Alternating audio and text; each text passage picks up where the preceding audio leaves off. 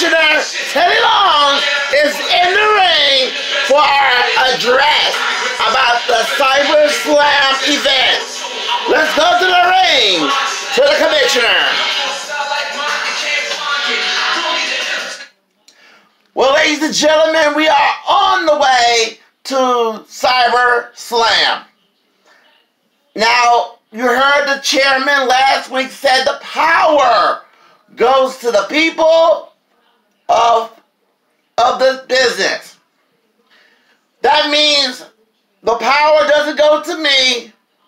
The power don't go to the management. And the power doesn't even go to the Simons family. But tonight, I can only do one thing. It's making sure the matches that you fans pick will be the best option for those matches.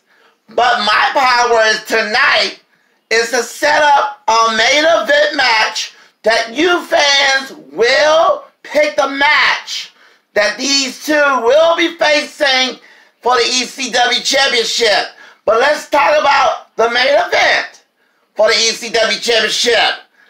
So, I have came up with a good idea. And tonight, we just don't have the future here in this arena. We got the past.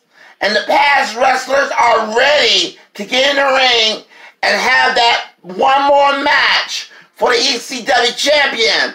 Legends, Hall of Famers, and the future here in ECW. So, ladies and gentlemen, I'm trying to say that tonight, the main event is a full long battle royal contender match. Means all the wrestlers will be in the ring. And guess what? The only way by winning is throwing your opponent over the top rope. And whoever wins will declare the number one contender.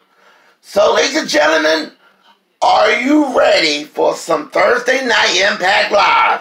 Holla, holla, holla. What a great news for our commissioner. Our main event is tonight a full long battle royal. Ladies and gentlemen, we'll be right back. Coming up next, Knockout in Action.